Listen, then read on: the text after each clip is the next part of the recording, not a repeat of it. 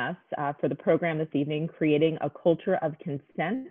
This is our parent session. As you may have noticed, we have a session this evening for parents and a session tomorrow for teens. And this session is being hosted by our Choose Respect Montgomery initiative, which is designed at reducing teen dating violence, uh, reducing the incidence of sexual assault, and learning about consent and what that looks like in relationships and in general for our teens and really for everyone. We're pleased tonight to partner with the Maryland Coalition Against Sexual Assault, and in a few moments, you'll hear from Beth Wincoop, who's going to be our presenter this evening. Beth is a prevention and education policy advocate for the Maryland Coalition Against Sexual Assault. She has been working in the field of interpersonal violence response and prevention for the past decade and is passionate about ending violence through community engagement and empowerment. Before coming to MCASA, she was a senior trainer at Alteristic, home of the Green Dot program, where she created curriculum, conducted research, and delivered training focused on primary prevention to national audiences, including campuses, communities, high schools, the Department of Defense, the National Park Service.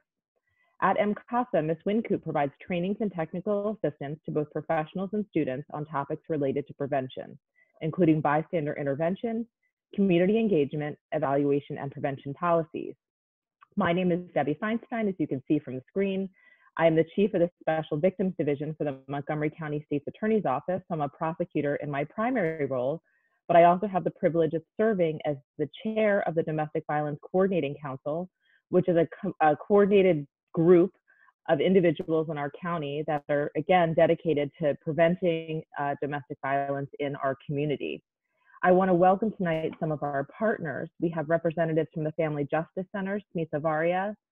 We have Kathy Green and Shella Cherry from Montgomery County Public Schools. And we have Lieutenant Jerry McFarland from the Montgomery County Police Department. Welcome to them, and we hope that you have an informative program this evening. A few guidelines. We ask you to keep your video and sound muted. I think you may not even have the option to turn them on, but just in case, um, please keep them muted. Uh, you can use the chat function during the course of the presentation. And during the course of the presentation, you'll have the option to go to questions, which is Meredith. So if you have technical questions or other questions during the presentation, please send them to Meredith and she can then feed them to Beth um, or to others of us that are co-hosting this program this evening. If you have questions in Spanish, preguntas en español, you can send them to the host information. It's actually a woman named Mary Areola from my office who will be answering your questions in Spanish, and you can obviously send them in Spanish as well. Welcome, everyone, and with that, I'll turn it over to Ms. Wincoop to give the presentation. Great. Uh, thank you, Debbie. Thanks, everyone, for joining us tonight. Um, it's great to see so many people coming out. Um, as Debbie said, my name is Beth Wincoop. Um, I am the Prevention and Education Policy Advocate at the Maryland Coalition Against Sexual Assault. Um, I am a Silver Spring resident, so I live right here in Montgomery County. Um, just to give you a little bit about this person, I feel like when we're talking through a screen, it can feel very impersonal.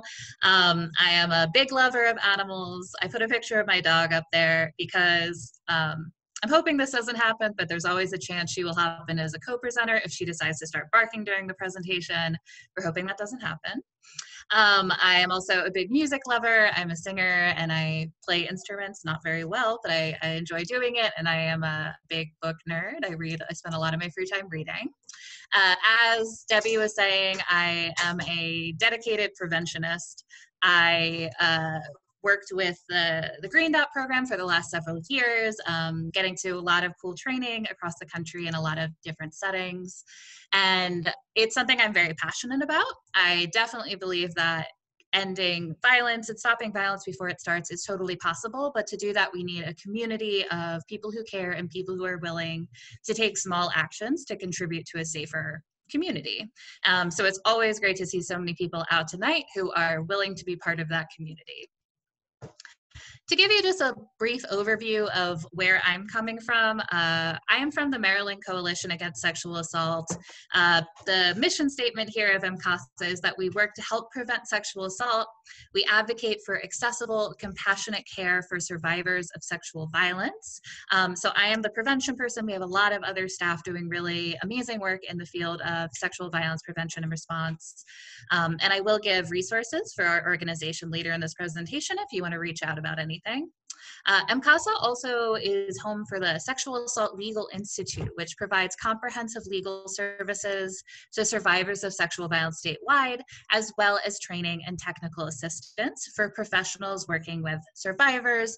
Uh, they're also an amazing resource, and I will be giving their contact information later in the presentation. So let me give you an overview of what the next uh, not quite an hour of time will consist of. The first thing is that we're going to review some of the content that students may be learning about consent, sexual assault, and prevention.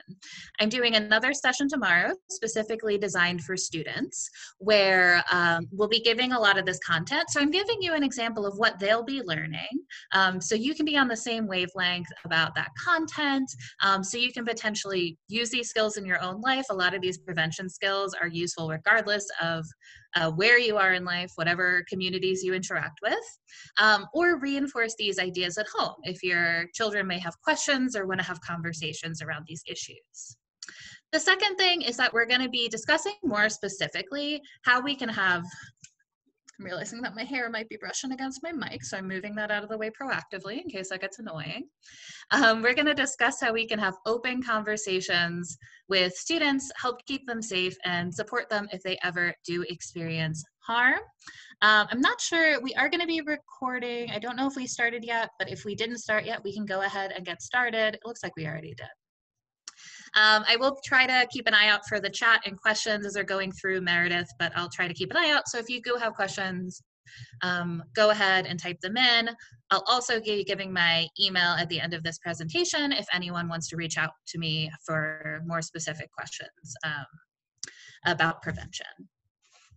Um, but not specific case information. That would be a call to SALI. All right, so one thing I do want to focus on is I know that these issues have been a really hot button topic in Montgomery County. There's been um, sort of a Me Too movement or social media awareness around the me idea of Me Too, where people have been sharing stories. Um, and I think that's a, a, really positive shift in a way that people are being open and talking about these issues. Um, so we can really focus on prevention and we can focus on responding to things appropriately.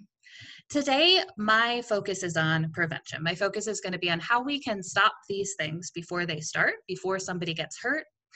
However, I know that there are some people who may have already been harmed and need resources. So I am going to be sharing some response resources as well. It's not going to be the primary, uh, the primary focus of this presentation, um, but I will be giving you some resources. So you can keep an eye out for those. Uh, one thing I'll say, I'll always say this when I'm doing a presentation, is this presentation will have a lot of content around sexual violence, um, consent. These are issues that can potentially be triggering or upsetting. Um, they can be hard to talk about or listen to. Um, so please take care of yourself. If you do need to take a break, um, if you need to just, you know, take a quick breather, do a stretch, do whatever you need to do. Take care of yourself during this presentation. Um, I did pop up the the contact information for VASAP, which is the local um, race, rape crisis and recovery center. Um, I see that just got popped down into the chat too. Um, so go ahead and call if you are experiencing difficulty, if this brings something up for you, that's a resource for you. With that said, um, let's dive in. So we're going to start out by talking about the idea of consent. This is a hot button topic, um, thinking about how we can build healthy relationships for life. So why do we want to talk about consent and why do we want to teach students about consent?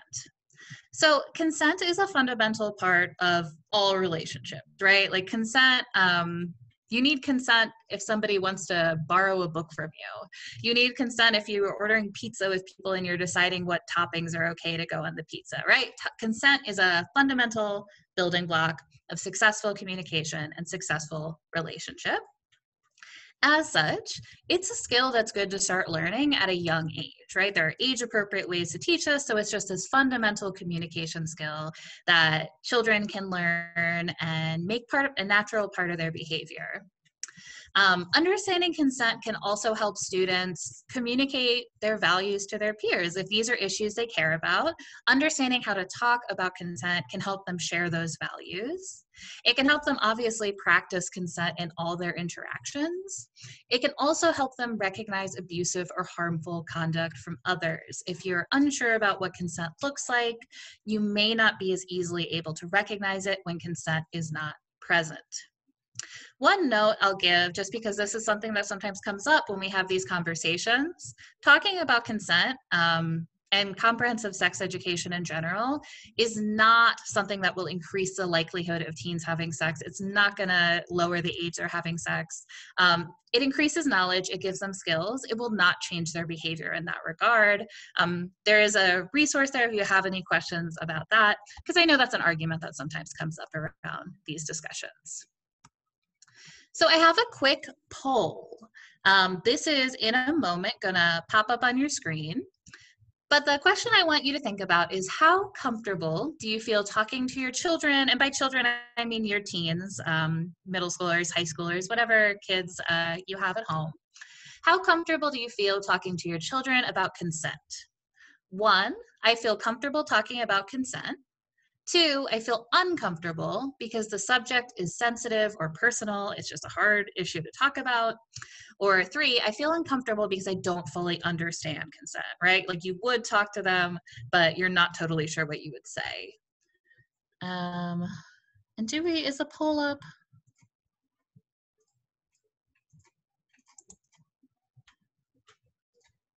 Beth, it's up. It's it's tabulating. It is up. Okay, cool. I cannot see it. Would somebody could one of my co-hosts just give me a give me a heads up for the results? Right now we're at about 85%. I feel comfortable talking about consent. 10% I feel uncomfortable because the subject is sensitive and personal, and 5% I feel uncomfortable because I don't fully understand consent. Okay, thank you so much. I might ask um, you all to just let me know what the polls are throughout because for some reason I'm not able to see them anymore because technology is always a fun and exciting adventure. Um, but that's good. It's good that so many of you already feel comfortable talking about consent. It's not 100% surprising because you are all the folks who showed up on this call. This is an issue that you care about. For those of you who don't feel super comfortable, um, that's also totally understandable. It can be really uncomfortable or confusing to talk about these issues. Um, I applaud you for being on this call to possibly get some more tools because the more a framework you have to talk about it, the more tools you have to talk about it, the easier it's going to be. All right, so you can go ahead and end that poll if you didn't already do that. I am out of the loop. Um, and let us jump into talking a little bit about what consent is. So as I mentioned, understanding consent is an important part of socializing, right? We consent to lots of different things in life, um, and it's a really important part of any healthy relationship. Um, as such, it should be introduced as early as possible. A very basic definition of consent is that I agree with something. Um, it's an agree to do something. It says, yeah, I'm okay with doing that. I want to do that. Right. Um, obviously, one of the major ways, oh, there's my co host, Kelpie, my dog. She's barking because she agrees that consent is simple and important. Um, one of the major ways we talk about consent is in terms of sexual activity and sexual relationships, right? Consenting to engage in um, a romantic or sexual activity, whether that's something as simple as kissing or talking about sex or another sexual act. There's usually three components when we talk about consent. The first is the obvious agreement. This person wants to do this, they say they want to do it, pretty straightforward. Then there's also the idea of free will. Sure, maybe the person agreed, but were they coerced? Were they pressured? Were the two people in the situation at an unequal power differential? Maybe one person was a lot older or in a supervisory position where we're not seeing that free will. Capacity is the final thing here. Where is that person in a position to consent? Or are they intoxicated? Um, Are they under the age of consent?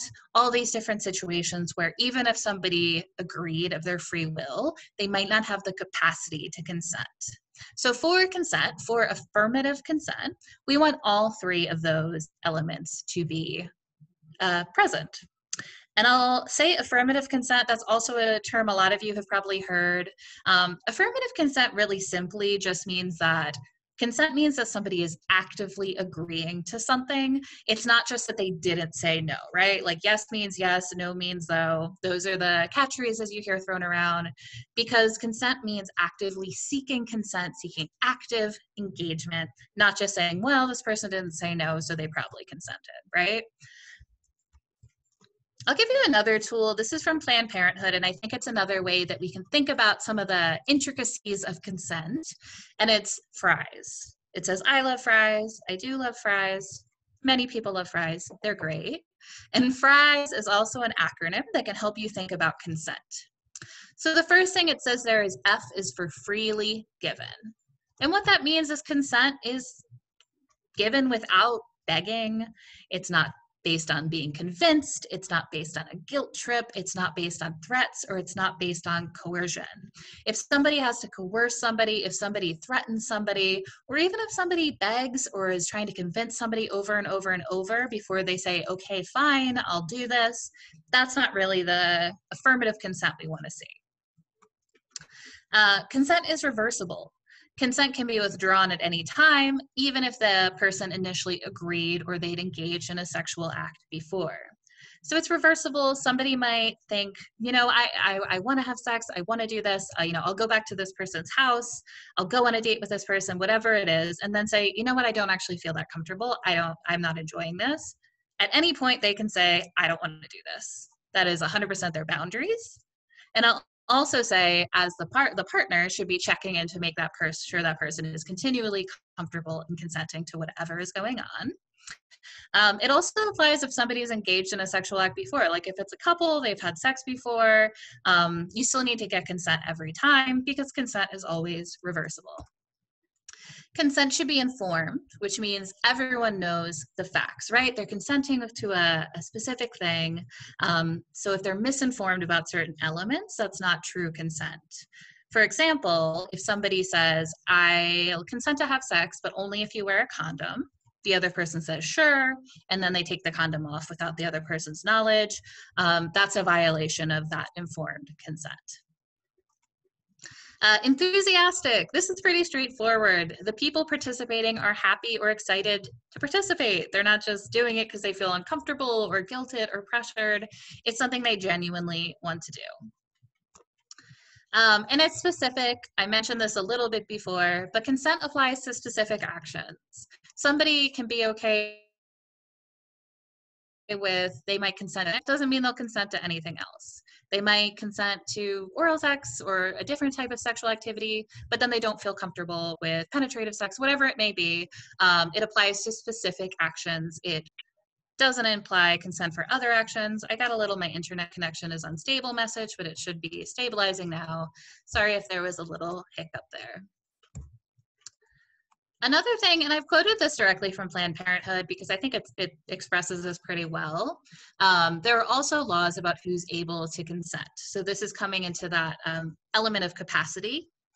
If the person you're with is drunk or high, asleep or passed out, below the legal age of consent or much younger than you, disabled in a way that affects their ability to understand you, then they can't consent and it's not okay for you to do anything sexual with them. Um, so when we think about capacity, that's another important thing that even if the person does agree, if they don't have capacity, then that's still not something we would consider consensual. So just to sum that up, it's a lot of information, but consent is something that is an ongoing process through any sexual encounter. In a consensual situation, each partner has the capacity to consent. There's no major power differences, there's nothing like that. Um, and each partner is responsible for checking in with their partner for consent regularly, looking for cues of agreement and interest, um, and remembering fries, right? That it's freely given, reversible, informed, enthusiastic, and specific. Um, And when I say look for cues, there might be verbal or nonverbal cues. The thing about nonverbal cues is they can be confusing, they can be misinterpreted. It's not always so clear cut to um, read somebody's body language. But it is very easy to just check in verbally to make sure everyone's on the same page. So the lesson there is, is when in doubt, it's always important to just ask just to confirm to make sure that everybody's on the same page. It can be a really easy, simple check-in.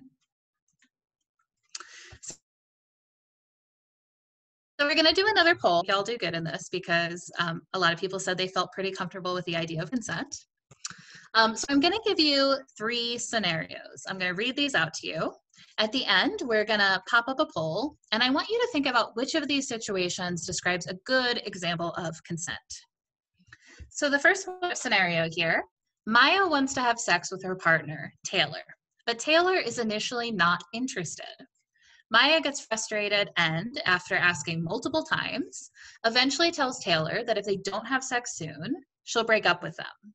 Taylor is scared of losing her and finally agrees. So that's scenario one. Keep that in your mind. The second scenario Keith and Aaliyah meet at a party and hit it off. They start kissing, and he asks her to go somewhere more private, and she agrees. However, when they're alone, she begins to feel nervous and asks him to slow down. Keith pauses and ask her, asks her if she's okay and if she wants to go back to the party. Final scenario here. Kristen and Jake meet on Tinder and agree to hang out. Kristen is nervous and drinks several beers. She starts slurring her words and feeling fuzzy. When Jake starts kissing her, she goes along with it. Um, so there are three scenarios there. What I want you to think about is which of these scenarios is a good example of consent. So again, this is the thing I can't see for some reason, but the poll should be up. Go ahead and respond. And when we start getting some answers coming in, if somebody could chime in and tell me what, what the answers are looking like.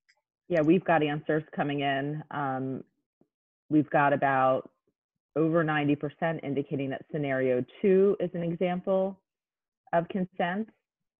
We've got 6% indicating none of them is an, is an indicator of, of consent. Yeah, that's kind of how I expected the answers to come back. Um, I think two is an example of consent one thing that I think people might have on their minds is that these two people are at a party, maybe there's alcohol involved, um, maybe there's drugs involved, so that might confuse things. And I think that's a total valid thought. When I wrote this scenario, I wasn't necessarily thinking either of the people were intoxicated in any way. Um, but um, so that wouldn't necessarily be an element. You do see some good consent behaviors here where they initially agree to go somewhere else. Um, it seems like they're both kind of okay with what's happening. Um, but when Aaliyah begins to feel nervous, she asks him to slow down. And Keith kind of takes it to the next level. Like he doesn't just say, like, okay, let's slow down. He actively checks in and says, hey, are you okay? Do you want to go back to the party? Um, in the first one, clearly uh, Maya is really putting a lot of pressure and even threatening Taylor that um, they might break up. Um, so that's not really freely given consent or that's not freely given consent. I won't say really freely given. Um, that's not consent. And in the third one, Kristen is clearly showing signs of intoxication. So that's also not consent. So really good answers. Um, so we're going to move on from talking about consent a little bit, and we're going to be talking about specifically about sexual assault. Um, I know consent is related to that, but we're going to talk a little bit more about sexual assault. Why is this important to talk about? Sexual assault disproportionately affects younger people, teens, young adults. When we wait too long to talk about these issues, which we often do just because they're hard, we don't necessarily want to talk to younger people about something that's scary and can be difficult to understand. But the negative consequences there are that it might enhance stigma around reporting or disclosing. Um, really disclosing to anybody. Um, and it may also confuse teens about their experiences, right? Like if you don't know what sexual assault is or what it looks like, if you have a view that you might have seen from TV shows or think sexual assault is only a stranger in the bushes, they don't realize it can be from an acquaintance or somebody they're dating, um, that might make it really confusing for their experience. Uh, there are some statistics that are, are troubling. We see that more than 40% of female victims of rape were first assaulted before the age of 18. Um, we know that one in 10 high school girls and one in 10 high school boys reported being forced into sex. And one in five women and one in 16 men are sexually assaulted while in college. Uh, and those statistics don't really measure assault related to people who are transgender, who are non binary in some way, but we do know from other study that they are um, disproportionately impacted by sexual assault. They experience sexual assault at um, very high rates compared to uh, cisgender folks. So, I say this not to carry statistics screen. I say this because I want to emphasize that being aware that this is a this is a risk, this is a possibility is important because it's a fundamental first step to both prevention and response. And I obviously just spent some time talking about consent. Um, when we talk about sexual assault and we talk about preventing harm, we talk a is important to healthy relationships it's important to healthy sexuality. Um, it's how we define when sexual assault occurs. That sexual assault occurs when there is a lack of consent. But what I do want to emphasize is that misunderstandings around consent are not the root cause of sexual violence. Sexual assault is an act of power and control. It is an intentional act that's backed up in a lot of the research um, so I don't want to say that there's never been a misunderstanding around consent. I don't want to say that. Don't hear that. But what I do want to say is sexual assault is an act of power and control. So teaching about consent cannot be the end all be all of our prevention work. Um, it's absolutely important, but we can do more when it comes to preventing these forms of harm. So to give you uh, a bit of a definition of sexual assault. I've already kind of alluded to this. But sexual assault without consent is rape or sexual assault.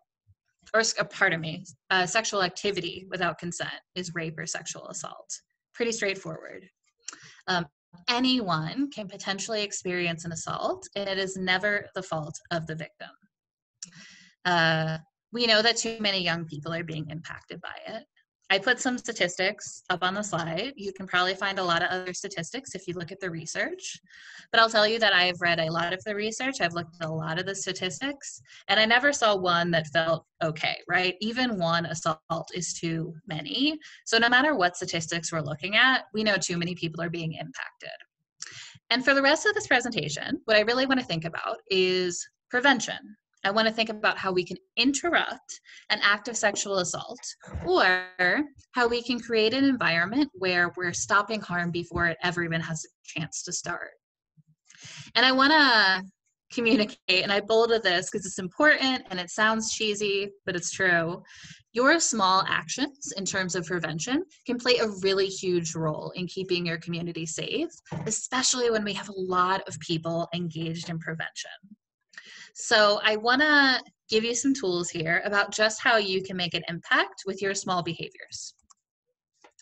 Um, so I want to give you a heads up. I'm going to be talking about bystander intervention. Uh, some of what you're seeing as I go through this prevention is me giving you the content that I'm also going to give to the students tomorrow, but also giving you kind of a look behind the curtain, a little more about the statistics, a little more about the research, about why we're taking the approach we're taking. So I'm going to be giving you some skills around bystander intervention, but since this is a parent session, I want to tell you about why I'm doing that. So as I mentioned, consent is important to enhance healthy relationship. It's important for students to feel empowered and to feel confident. Um, but consent alone, um, teaching consent alone hasn't been demonstrated to significantly reduce incidents of assault. And I say alone because included in other programs, it is a really important skill, but teaching consent alone hasn't been shown to reduce incidents um, or just building awareness of sexual assault in general um, has to a reduction in incidents. I will say um, the approach of risk reduction, which you may have heard of, is also typically ineffective. There's been some newer programs that show some promise, but historically it's been a pretty ineffective method and it is controversial. If you don't know what I'm talking about, risk reduction is putting the burden on potential victims, which are typically women, this is messaging that's really geared towards women, that says that they are responsible for protecting themselves against assault. It's an approach that's well meaning, but when it's led to saying, you know, women should be careful how they dress, they should be careful about staying out too late, um, they should be careful about drinking too much. We've often seen it as a sort of parallel to victim blaming, which is why it is an approach that's uh, often considered controversial um, or outdated. So I'm not going to be giving risk reduction strategies during this presentation. On the other hand, bystander intervention is one of the most promising prevention approaches when we look at the research. Um, there's been different studies of different bystander programs that have shown actual reductions in rates of assaults, which is really huge if you think about all the people who didn't have to go through that because of a program. That's really that's a really major accomplishment. Um, these approaches are particularly successful when they're paired with shaping social norms. So, uh, to give a short a short ex- explanation of what I mean by that. When more and more people are engaged in bystander intervention, when more and more people are talking about consent, it contributes to creating a safer environment. So that's uh, this is background I'm not giving to the students, it's background I'm giving to you. Um, but that is why I'm going to focus on bystander intervention. So students can have tools to, in a safe and realistic way, contribute to a safer environment. So there are three steps to bystander intervention that I'm going to go through. The first step is recognizing warning signs. So warning signs are anything you might notice as a bystander. Actually, let me rewind just a tiny bit and say a bystander is just anyone who observes something that's happening. Um, it might be a concerning situation that seems like it could potentially lead to a sexual assault. Um, and a bystander can make the choice to not do anything to be passive, um, they can make the choice to do something to make the situation better or help the person involved. So, the three steps of bystander intervention the first step is recognizing warning signs, those cues, behaviors, things that a bystander might see, hear, notice, observe, that would let them know that maybe something is happening, um, that maybe they should be concerned about a situation. And warning signs can be super subtle. They can be very early warning signs. They could be more immediate, where you might think, if I don't do something now, an assault could potentially take place. Um, a second step is considering barriers, considering the different things that might make it hard for you to intervene in a situation. Um, and the final step here is taking action using the three Ds. One thing I'll say, and I'm going to go through all these steps in more detail, but one thing I'll say before I move on is when we look at research around sexual assaults, in many cases, in the majority of cases, there was typically a bystander somewhere along the line who could have stepped in and done something.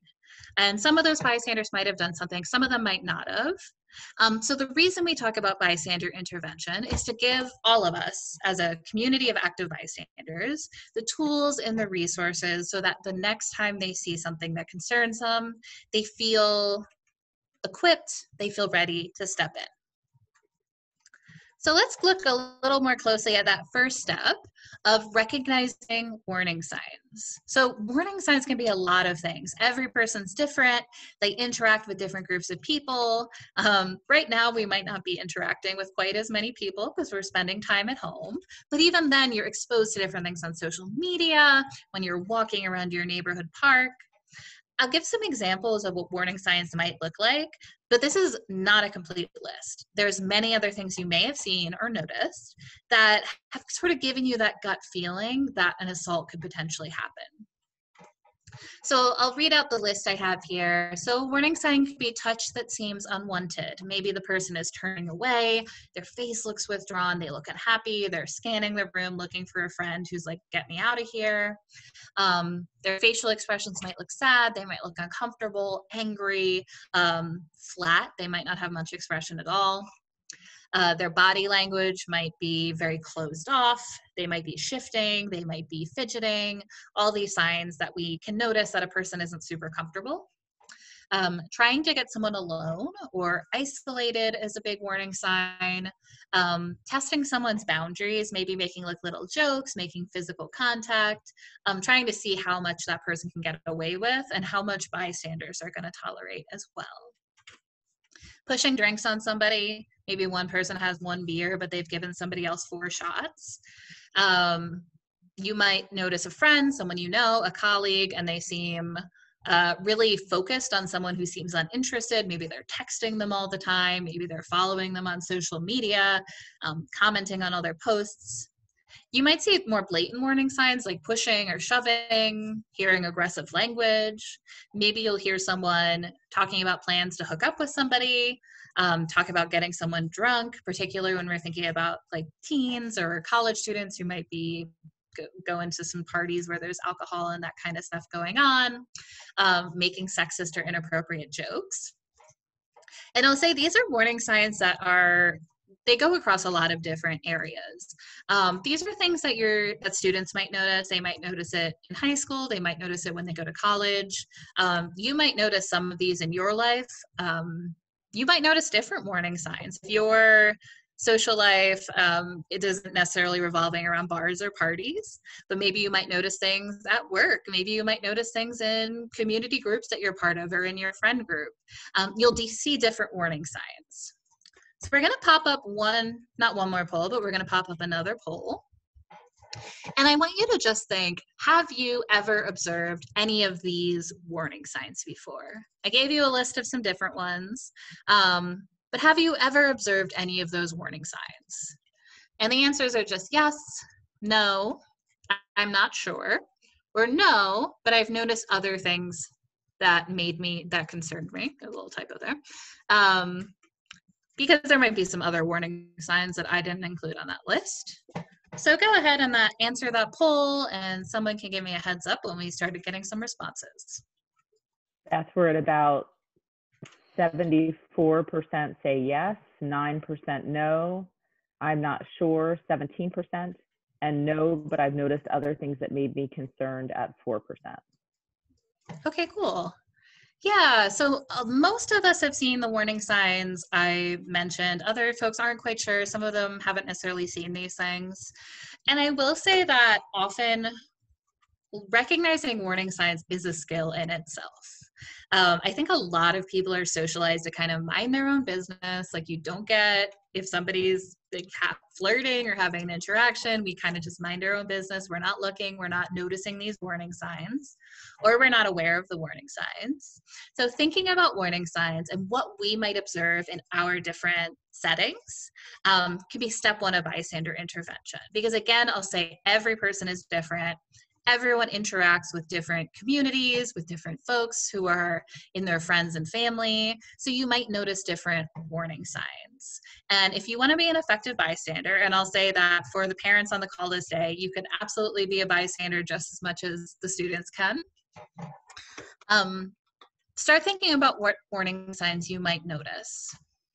The other question I have, and I'm not gonna I'm not gonna use this as a poll, but I want you to think for those who have seen the warning signs I mentioned, or those who may have noticed other warning signs in your life. I want you to think about what you did in that moment. And I don't say this with judgment at all, but I want you to think did you act? Did you not act? Was it really difficult to act? And just reflect on that for a second.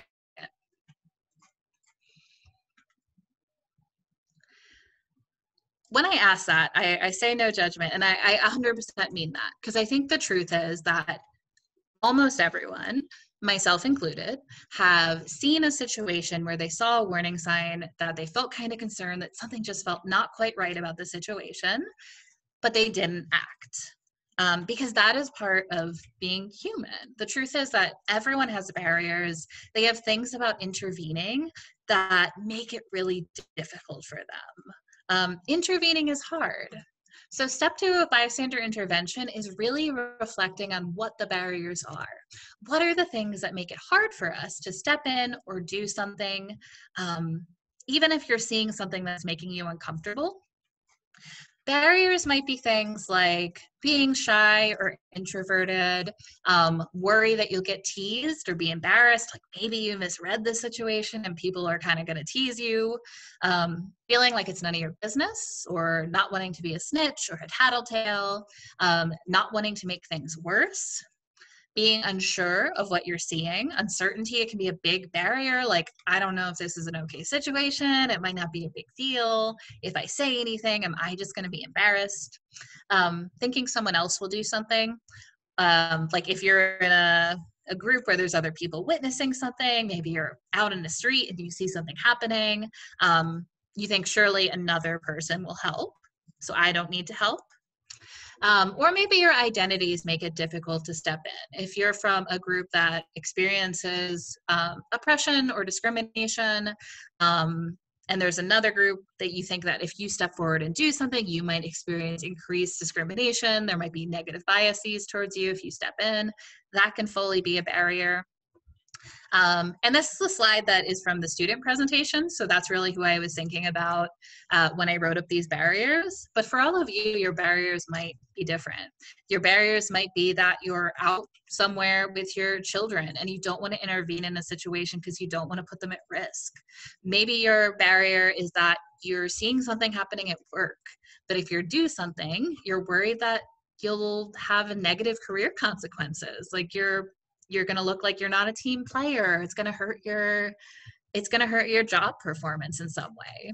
So we all have different barriers. There's a million others that aren't on this list. So that is step two thinking okay I might see some warning signs, but what are the barriers that when I see those warning signs still make it hard for me to step in? Because that brings us to our third step, perhaps the most important step, which is thinking, okay, I have these barriers. Those barriers aren't going to magically go away overnight. But even with those barriers, I have a toolkit of options. I have different ways I can intervene, even with those barriers. So we have a toolkit called the 3Ds. Um, the 3Ds are just two, three different ways we can intervene um, direct, delegate, and distract. Uh, direct is just intervening directly with the person doing the harm or the person being targeted. Um, this can just be a simple check-in. It can be like, hey, are you okay? You can text someone, be like, hey, I, I overheard a conversation and like I, I was feeling a little concerned. Is everything all right?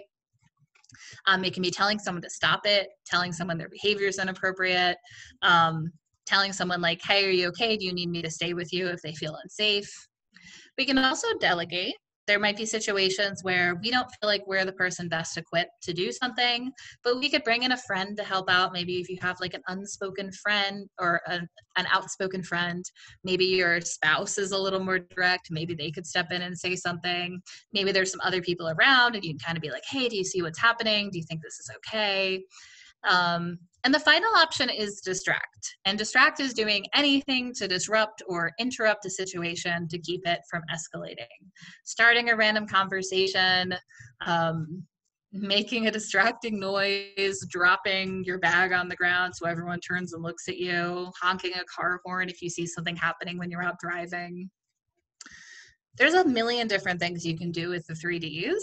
One thing I will acknowledge is that when I give a lot of these examples, they make me think of being out in public with a lot of people or in a crowded office or at a party or something like that. Most of us are probably not doing that right now, but the basic skills still apply. Whether you're doing these interventions in person or whether you're doing them on a Zoom call or on social media or on a or on through text, you can use these same skills. Another thing I'll say is that we do have a module at our at MCASA called Prevention at a Distance that goes through using the 3Ds um, at a distance. Uh, so using the 3Ds through a lot of virtual means. I will put a link to that at the end of this training. But for now, I just want to do a couple quick scenarios. These are skills that you can practice in your own life, but they're also things that you can practice with your family, saying, if you saw this, what are some different options you could do? So I'm going to give you two scenarios. These are the same scenarios that are in the student presentation tomorrow. So you can uh, put yourself in the shoes of your teen um, or think about what you would do yourself. All right, so the fourth poll here, scenario one. You're at the park with your sibling and you see a young couple sitting together on a picnic blanket. You see him leaning close to her and putting his arm around her waist, but you see her looking away and her body language is very tense. What would you be most likely to do? Your first option is to be direct. You go up to the couple, you maybe stay a safe six feet away, and you ask her if she's okay or tell him to back off. You could delegate. You could ask your sibling um, you're with if the situation seems weird and see if they can speak up. Um, maybe they're a little more direct than you are. Um, you could distract. You could just go sit on a nearby bench in the park to add a little awkwardness and really just kind of keep an eye and make sure things don't escalate.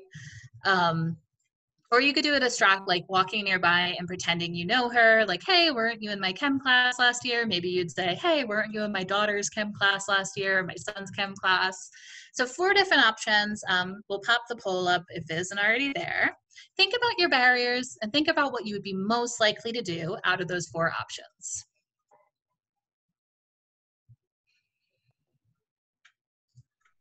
Okay, so let's give people another moment. Now this one involves more reading.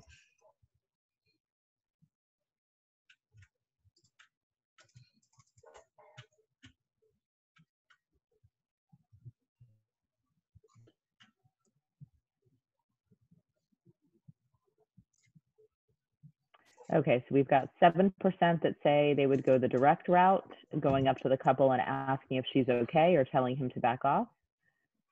7% would delegate, asking the sibling, their sibling if the situation seemed weird and see if they can speak up. 66% distract, go sit on a nearby bench to add a little awkwardness to the situation, and 21% distract, walk nearby and pretend you know her. Hey, weren't you in my chem class last year? All right, awesome. So we see a variety. We see some of the distracts uh, that are popular options. They're popular options with me too. Um, they're especially good if you're not totally sure of what's happening in a situation. Like if your barrier is like, well, maybe they're just having an argument, like they're just, you know, they're they're kind of having a quarrel, but nothing really that's a big deal is happening. Um, you can still use a distract to make sure that the situation doesn't escalate, to kind of take a closer look at what's happening. Um, in a way that feels maybe more comfortable. And again, like what you would all do is probably different than what I would do, which is probably different than what um, your child would do. Let's look at one more of these. All right, you are in a group text with a bunch of friends.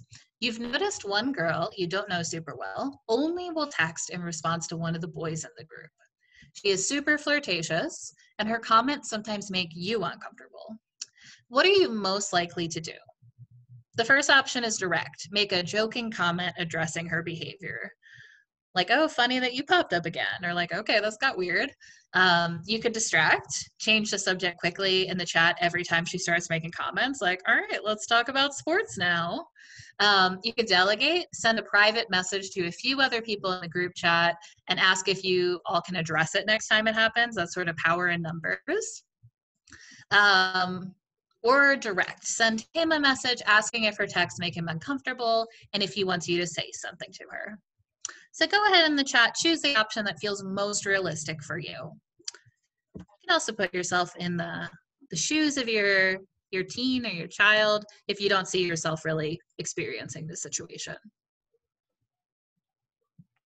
we'll give everyone a moment to yeah. vote.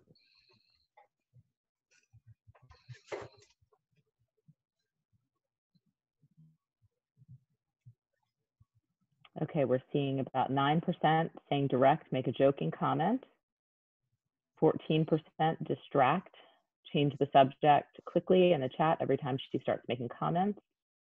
22% delegate, sending a private message to a few other people in the group chat. And then 58% direct, send him a message asking if her texts make him feel uncomfortable and if he wants you to say anything. Okay, cool. So folks are feeling pretty direct on that one, but they're all valid options. Uh, and that's really the point of all this is that there's not one right answer. The right answer is the action that you would actually do, right? Like the thing that feels realistic is the thing that you're going to contribute. Um, and that's really what this is about, getting more people to engage in bystander behaviors. Um, okay, let me pivot for a second, um, and I want to talk a little bit about what we would do first helping someone who discloses. Um, so, our goal here is prevention. Our goal is to our goal is to stop people from getting hurt to begin with. Um, but there may also be moments where someone is harmed, and it's really helpful to know how to help them. This slide is something that is in the presentation for the students in terms of helping a friend. I'm also going to give you a, a, some additional notes for um, if you are a parent, as a parent, if your child disclosed something. Um, so be supportive.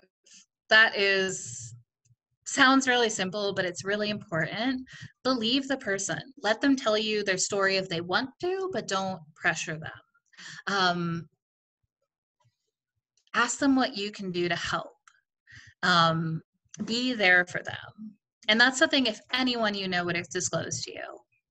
Be flexible the survivor might be experiencing a lot of different emotions. There's not one way for a person to act. Um, and that person might want to go a lot of different ways. They might want to contact their local rape crisis center. Um, they might want to try to find therapeutic support.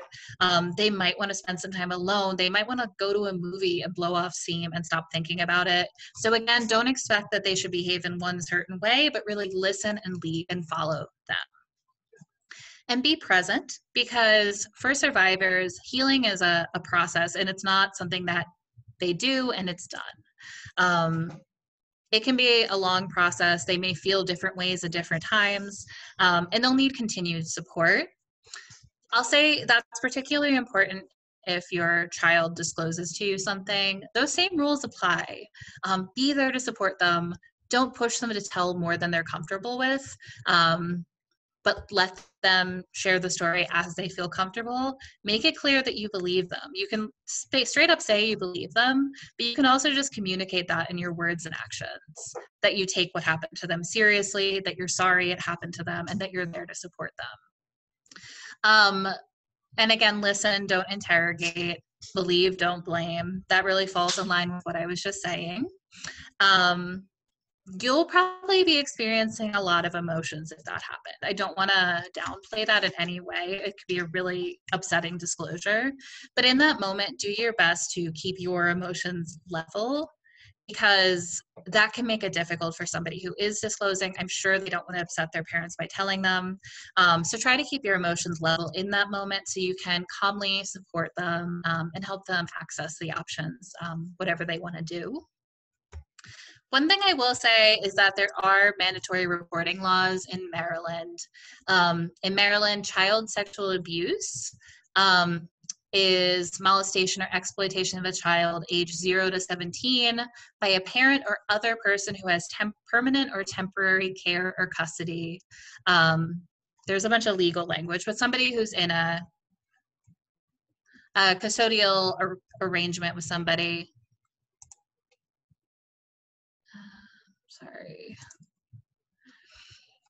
Um, in those situations, there is mandatory reporting. If um, everyone in Maryland is a mandatory reporter, um, if there is a case that falls into those parameters, um, I did put some resources on there um, for the Department of Human Services, the Child Protective Services, um, and a phone number there. We can share these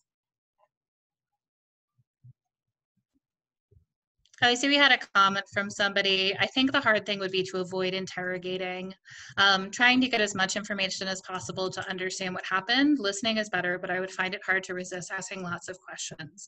Yeah, that's a really fair feeling. Um, but I think your instinct is right. Like listening is better. You do want to know what's happening. Um, but for anyone else, um, for anyone else who's feeling the same thing, remember that disclosing the, what happened can be really difficult. It can be extremely hard. Um, they've trusted you enough to come to you and tell you the story, um, and they're there for their support. But telling the story itself can be really difficult. Um, we don't want them to have to tell the story any more than they need. And in fact, if we are um, really interrogating them, asking a lot of questions, it may come across as that we don't believe them. Um, it may just make them uncomfortable. It may make them confused about what happened. Um, so it's better to avoid, really let them guide. Um, I think wanting to know what happened is totally understandable, but it is going to be a best practice to sort of listen and support. Um, and I see Debbie just uh, pop down the Montgomery County resources. Uh, I saw we had another question coming in that says, are therapists also mandatory reporters? Uh, yes, I, I, believe they are. Um, I am not an attorney, so I won't say they that are. with 100% certainty. They are, thank you. Yeah, uh, fortunately, we do have attorneys on the call. yeah, they are. The it's part people... of their licensure. Yeah, okay. Um, so I know it is almost seven. I'm sorry. I do have a little bit of content. I talk too much. Um, so for anyone who needs to pop off, this is being recorded and you can view later. Um, but I'll go through and go through the last few slides here for those who can hang in there a couple minutes. So one thing that I alluded to earlier, um, and I want to just emphasize, is that oh, this is a slide I wanted to talk about, is that effective prevention begins with these individual actions. It begins with um, understanding consent, practicing bystander intervention, sharing our values. But what we really want is to have lots of people in a community engaged in these skills. Um, engaged in these behaviors um, with these really clear norms and values. So you can communicate this stuff to people in really simple ways. It could just be posting on social media, like maybe you go to this training, you post after I went to this, here's a skill I learned. Um, you should do this too. Uh, talking to your friends and family about these issues maybe attending virtual community meetings, contacting government officials or school officials, um, support your children in their efforts if they're trying to share their values or, um, or advocate, um, displaying values through signage, clothing, etc. Um, ask a friend to attend a training like this. MCASA does other trainings. I know MoCo, MoCo Choose Respect does other trainings. Like bring a friend, bring some other people who could potentially learn these skills.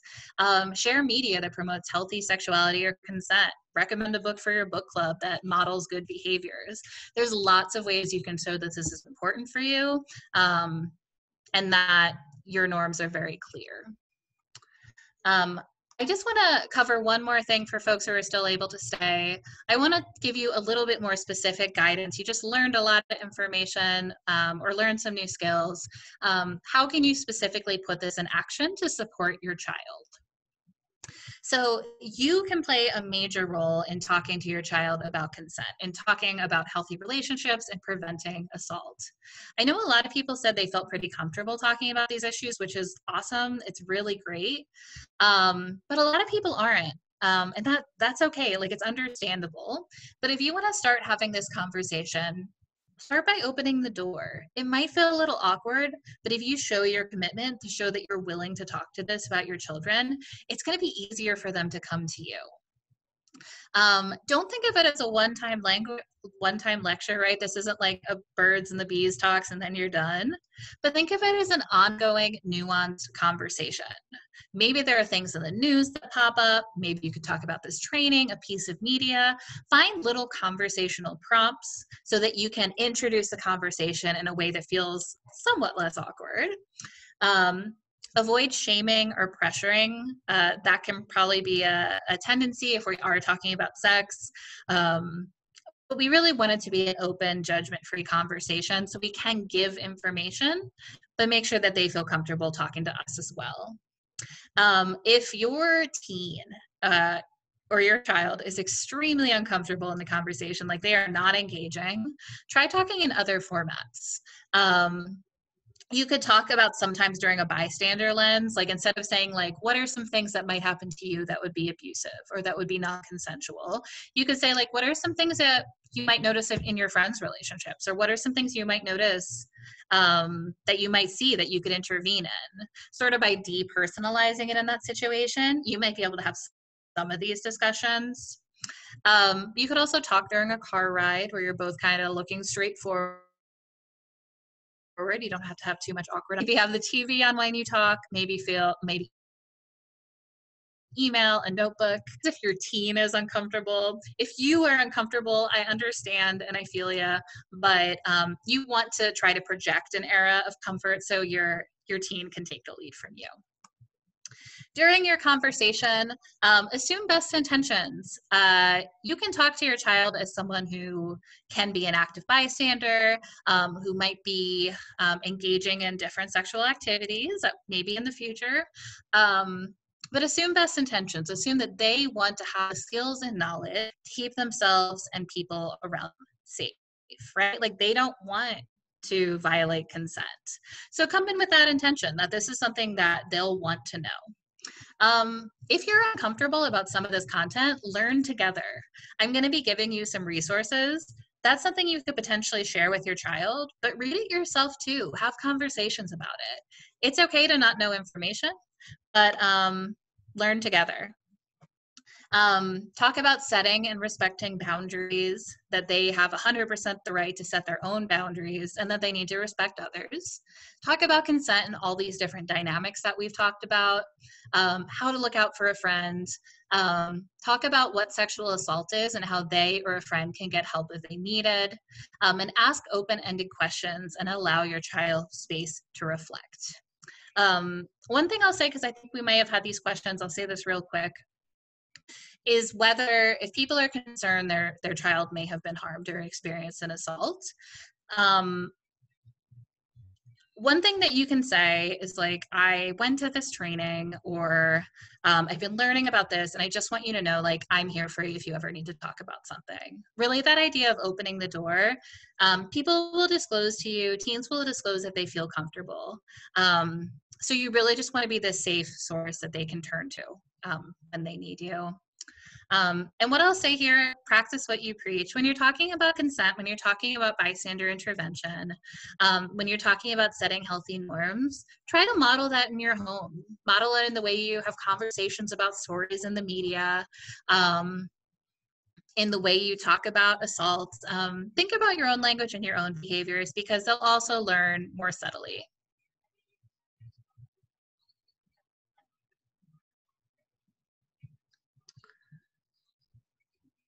I got a question if um, I'm going to be using the same vocabulary to present this information to students or do I modify it?